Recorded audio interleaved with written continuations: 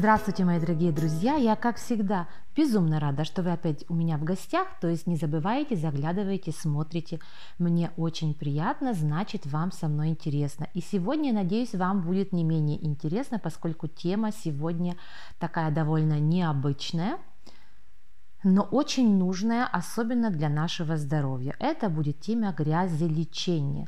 Так что обязательно досмотрите это видео до конца, и вы получите очень много полезной информации на тему грязелечения. Что это такое? Я расскажу вам свою историю, как я к этому пришла, почему я начала этим заниматься, где я беру лечебные грязи и как я ними пользуюсь, как правильно ними пользуются в домашних условиях, чтобы они приносили максимум пользы.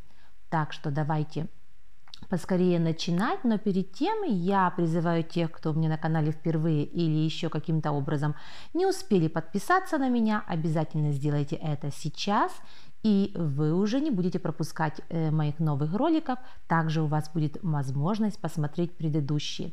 Я уже э, в рубрике э, «Здоровье» делилась с вами своим опытом лечения чудодейственным, ну, чудодейственным, так можно его назвать, препаратом АСД. У меня 5 роликов на канале, так что кто не слышал, обязательно посмотрите. Его называют эликсиром жизни, эликсиром молодости. Это такой легендарный препарат э, биостимулятор дорогого, который уже помогает людям на протяжении очень много лет. Его, его и разработали еще после Второй мировой войны. Так что можете представить, какая у него история. Так что предлаг... э, приглашаю вас на мой плейлист об АСД. Также я делилась с вами своей, э, своим опытом э, по поводу живой и мертвой воды, которую я уже пью на протяжении 12 лет. И э, так что опыт у меня и стаж довольно большой. Я также показываю, как я эту воду э, произвожу дома. У меня специальный аппарат и какие ее лечебные свойства. А сегодня пришла очередь поделиться с вами на тему грязи лечения. Итак, давайте приступим. Как же я э, пришла к тому, чтобы заниматься грязями? Я э, очень много лет отдыхала на Сакском озере – ну, может, не на Сакском озере, я отдыхала поблизости города Саки на море, и там мы могли пешком дойти до этого легендарного грязевого озера. Там, где находятся многие санатории, также известный санаторий Бурденко в советское время.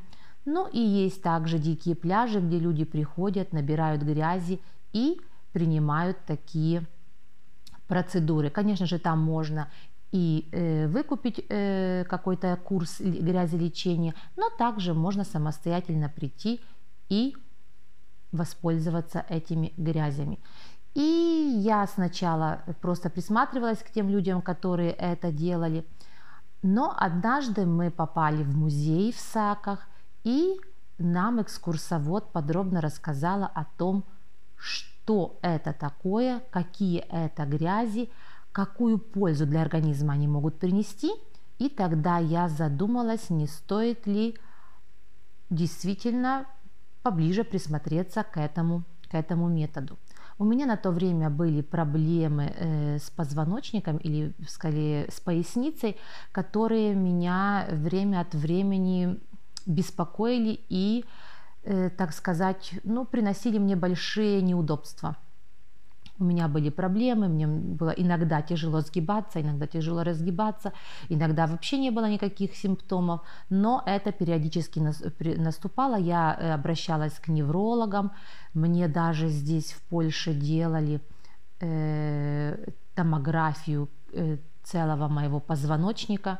Это такое, ну, довольно такое серьезное обследование – после чего нашли некоторые, э, некоторые проблемы, оно все было там э, очень детально описано, вот какие-то грыжи, какие-то еще э, неприятные моменты – и когда я показала э, своему неврологу этот результат, она просто посмотрела и сказала, ну хорошо, отложим. Я говорю, а что же будем делать? Ничего. Я спрашиваю, будет какая-то гимнастика, какие-то препараты, какая-то это. Нет, ничего, ничего не делаем. Я говорю, ну как же ничего не делаем, если у меня появляются вот такие, э, ну неприятные боли, которые меня тревожат и которые мне так сказать, э, утрудняют жизнь, поскольку у меня были такие, почему у меня такие проблемы начались в жизни, потому что э, были такие случаи, когда мне приходилось поднимать очень большие тяжести. И, видно, я где-то что-то там растянула, где-то что-то себе повредила, и поэтому, ну, начались эти грыжи и, и, и вот эти болевые симптомы. Вот, у меня даже когда-то была такая ситуация, когда с первым моим ребенком, он еще был очень маленьким, грудным ребенком, я его наклонилась перепеленать, и в этот момент я хотела распря... распрямить спину, и я не смогла. И вот в такой форме буквы Г я застыла, потому что ни туда и ни сюда. Мне пришлось, зажимая зубы, э, положить ребенка э, в кроватку, э, из которой он бы не мог вылезти или что-то себе сделать и вот просто на коленях подползти к телефону, позвонить мужу и сказать приезжай, потому что я не могу встать. И тогда приехал муж, привел врача из поликлиники, он мне где-то что-то помассировал, какие-то выписал э, таблетки, я потом тоже была на обследовании, но оно как-то самой прошло, и вот так вот я об этом уже потом забыла. И следующий момент был такой, когда у меня, э, у сына произошла неприятная авария на велосипеде, у него была нога в гипсе, он тогда уже был мальчик, я не помню, сколько ему лет, лет 5-6 было, да, где-то в таком он был возрасте, и то есть он уже так немало весил, и мне приходилось очень долгое время, значит, долгое время, ну, наверное, несколько месяцев его носить везде, из кровати вниз, целый день он не мог ходить, и вынести его на улицу, и внести его и в туалет, и покушать. И каждый второй день мы ездили в больницу на перевязки, и э, там тоже надо было привести его, посадить в машину, из машины на, э, на кресло, там его завести, то есть носить надо было его очень много. И видно, это тоже мне дало какой-то негативный эффект. Ну и еще были такие ситуации в жизни, когда надо было поднимать тяжести, не буду затягивать, вот. И оттуда, наверное, пошли мои проблемы. Ну и также у меня, наверное, по э, какой-то... Э, у меня какая-то есть также наследственность, потому что с поясницей имел проблемы мой дедушка, мой папа, и, наверное, какая-то здесь тоже доля истины есть по наследственности. Ну и посмотрев на это все и послушав э, то, что мне сказали в этом музее, я подумала, наверное, стоит попробовать грязи. Ну, они мне, наверное, вреда не принесут, а авось помогут. И я там на море походила на это озеро, но это было недостаточно, и я решила грязи взять с собой домой. Э, я послушала советов местных жителей, как они мне посоветовали это все взять. То есть я пошла почти на середину озера, мы там набрали вот такую очень чистую грязь. Я набрала бутылки с рапой, то есть с водой из этого мертвого озера. Привезла домой. Эта вода мне нужна была для того, чтобы во-первых, иногда смывать грязи, а во-вторых, мне сказали, что э, если я буду заливать э, грязи сверху этой рапой, она будет предохранять их от, э, ну как просто их консервировать. И я начала лечение этими грязями дома, почитала и сделала несколько курсов, потому что один курс это мало.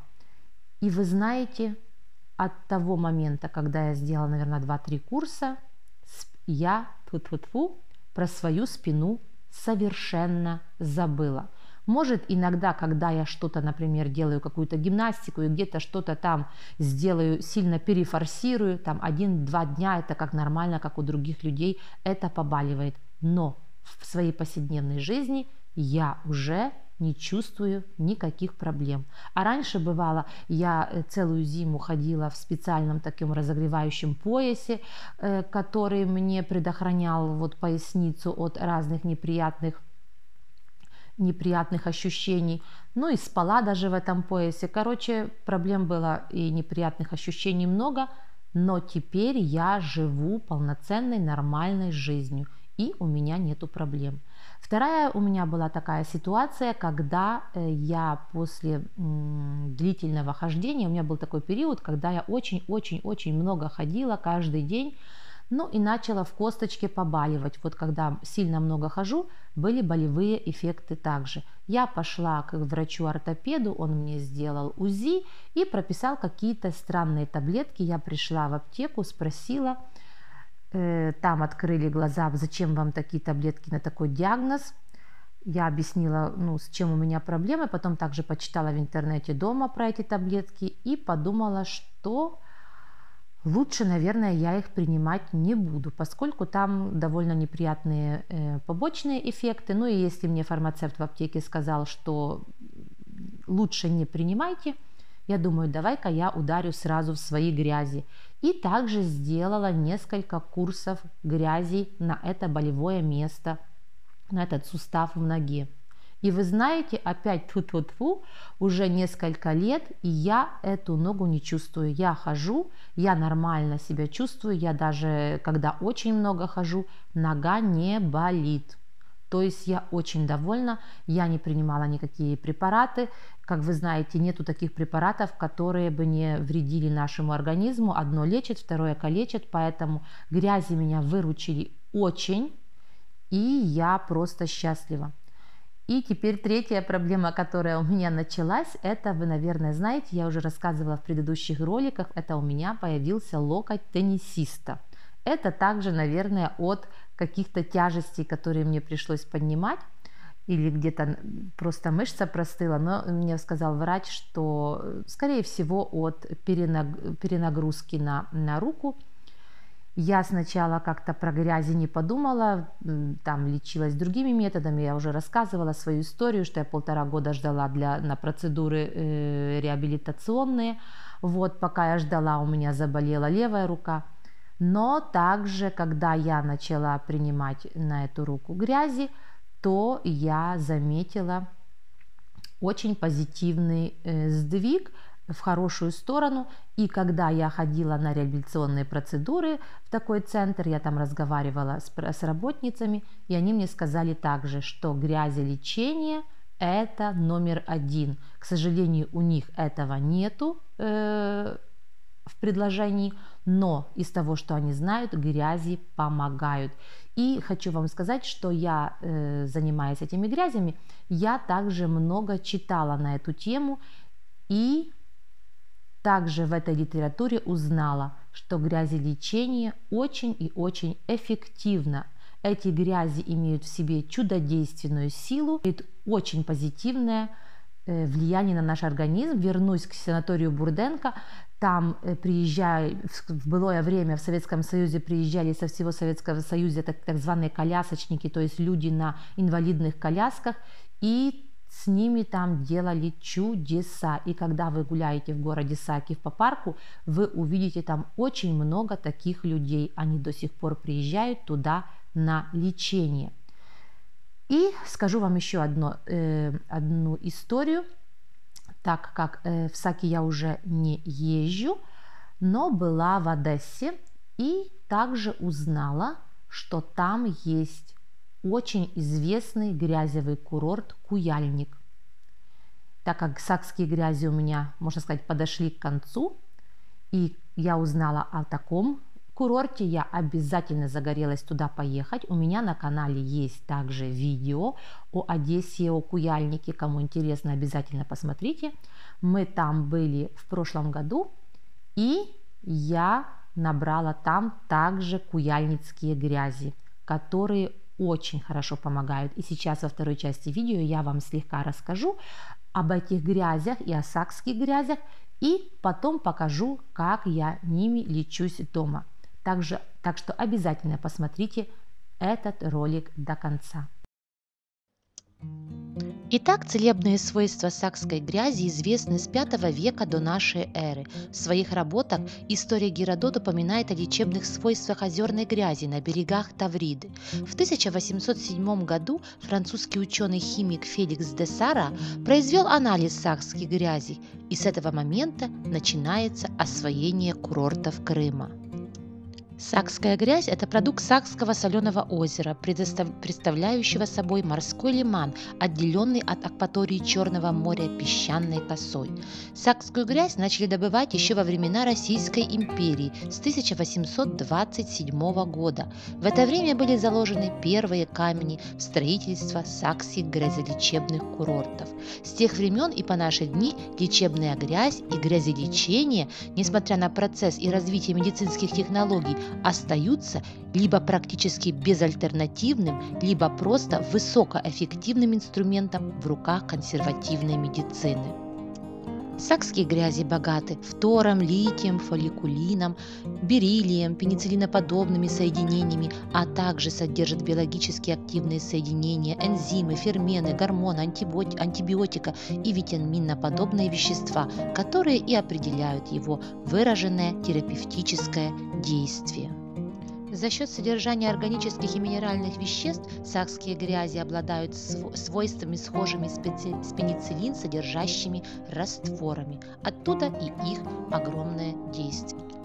Сакская грязь маслянистая, густая, вязкая, черная, с запахом сероводорода и относится к высокосульфидным, высокосолевым иловым грязям. В отличие от медикаментозного воздействия с применением синтезированных химических препаратов, вызывающих побочные и нередко нежелательные эффекты, грязелечение является безопасным, но вместе с тем высокоэффективным способом лечения многих заболеваний. Лечебный эффект сахской грязи подтвержден многолетней практикой и пользуется справедливым доверием как у терапевтов, так и у пациентов. А сейчас давайте взглянем на грязи куяльника и посмотрим, как действуют они. Одесса – город необычайной красоты. Его не зря называют голубой жемчужиной у моря. Он известен не только своими славными достопримечательностями, удивительно веселыми одесситами, красотой Черного моря и обилием солнца даже в унылое зимнее время, но и своими целебными курортами, об одном из которых мы сегодня поговорим и куда вместе отправимся, а именно в Куяльник. Напротив э, железнодорожного вокзала останавливается маршрутка, которая за полчаса доставит вас на место. А теперь несколько слов о Куяльнике. Этот курорт является уникальным грязевым курортом – Район находится в благоприятной для лечения многих заболеваний местности. Куяльницкие грязи по своим лечебным свойствам признаны эталонными, поскольку содержат комплекс биологически активных веществ, макро- и микроэлементов, способствует уменьшению воспалительных процессов, стимулирует защитные и приспособительные реакции, восстанавливают функции поврежденных органов и систем организма. Важное значение имеет рапа Куяльницкого лимана, которая содержит в растворенном виде много разнообразных минеральных соединений. Также минеральная вода Куяльник для внутреннего применения с успехом используется для лечения больных с заболеваниями желудочно-кишечного тракта. В санаториях Куяльницкого курорта организовано лечение больных с заболеваниями нервной системы, опорно-двигательного аппарата. Многие приезжают в Куяльник индивидуально, без путевки, поскольку здесь функционирует курортная поликлиника, где сосредоточена лечебно-диагностическая база курорта. Можно пойти к врачу, который пропишет курсовку, и вы будете принимать процедуры. Бытует мнение, что по своим свойствам Куяльницкие грязи намного эффектнее грязи Мертвого моря, и поэтому сюда приезжают даже из-за границы. Мы тоже запаслись грязями из лимана и будем лечиться дома. Итак, вот так я храню свою грязь в пластмассовом ведерочке, заливаю ее сверху рапой, которую также привезла, и вы увидите бутылочку, в которой я ее храню. Грязь наносится на только определенные участки тела. Это маски, компрессы, обертывания, за исключением шеи, головы и области сердца. Длительность процедуры определяется в каждом конкретном случае, но не дольше 20 минут. Итак, набираю грязь и складываю ее вот в такой полиэтиленовый кулечек. Э, заранее приготавливаю водяную баню и туда помещаю этот кулечек с грязью и держу так, чтобы ее хорошенько прогреть до 40-42 градусов, а потом ее выдерживаем до температуры от 38 до 40 градусов. И только тогда будем накладывать на руку. Место, которое мы определили, надо прежде обмыть теплой водой и затем будем на него накладывать грязь на тот участок, который нам нужен. В нашем э, случае это локоть теннисиста и в тех местах, где болевые ощущения, будем накладывать толстым слоем грязь. Вот так аккуратно на это место. И теперь немножко распределяем, чтобы захватить максимально больший участок на руке. Если бы мы это делали на территории озера, мы бы взяли намного больше грязи и, наверное, шире это все э, дело замазали. Но так как у нас это домашние условия и грязи доступа нет, то немножко экономим. И вот так э, пакетиком прикрываем это место, чтобы не было загрязнений. И поверх заматываем толстым слоем шарфика. И потом хорошо бы было лечь, отдохнуть и прикрыться также одеялом, чтобы рука была чтобы рука не двигалась и, главное, чтобы организм отдыхал и релаксировался и ничем не занимался. Это тоже одна из главных задач процедуры. Также помните, что грязь – это биохимическая субстанция, живой организм и сильно перегретая свыше 60 градусов становится малопригодной или просто умирает. Но температуру грязи с достаточной точностью можно контролировать обыкновенным термометром для измерения температуры жидкости или наружного воздуха оконным термометром, всего лишь поместив ее внутрь пакета с грязью. Итак, не передерживайте, следите за временем. Когда время истекло, открываем наше, наш шарфик, отматываем, открываем руку и будем аккуратно снимать наш компресс. Помните также, что грязь используем только один раз и второй раз уже ее не нагреваем.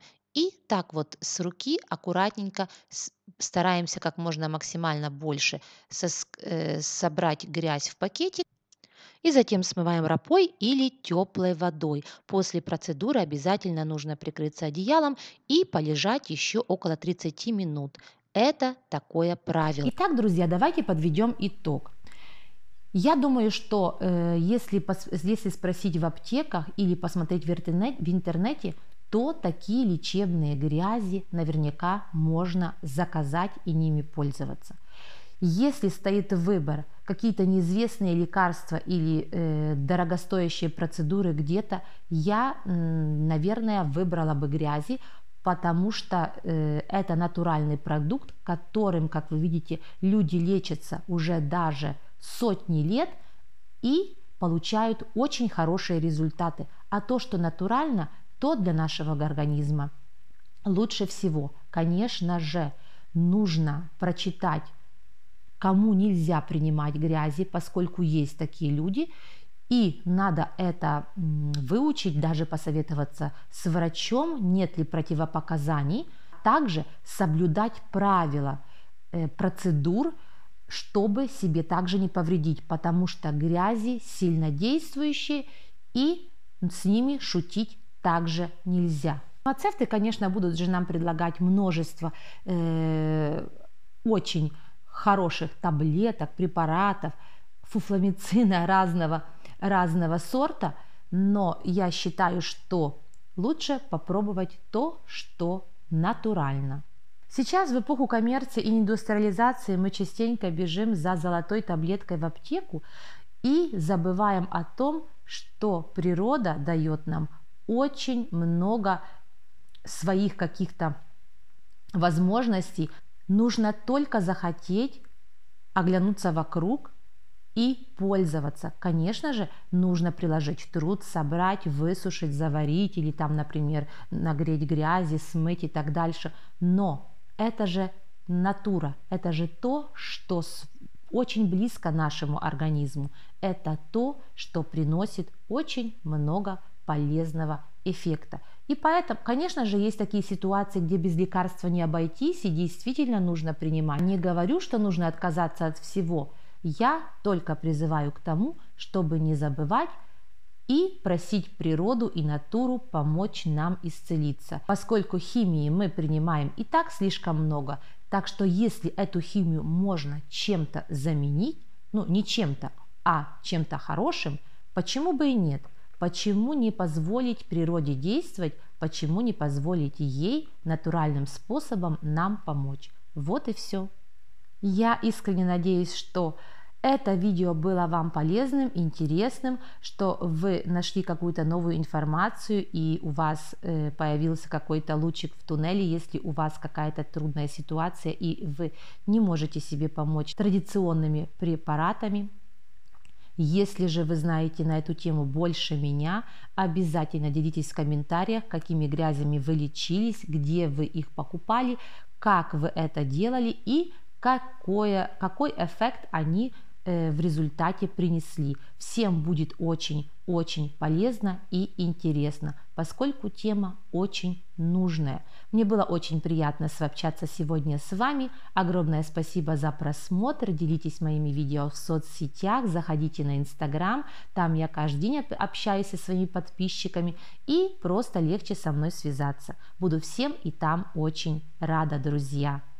До новых встреч в новых видео. Всего вам самого-самого доброго, а главное крепкого вам здоровья. Пока-пока.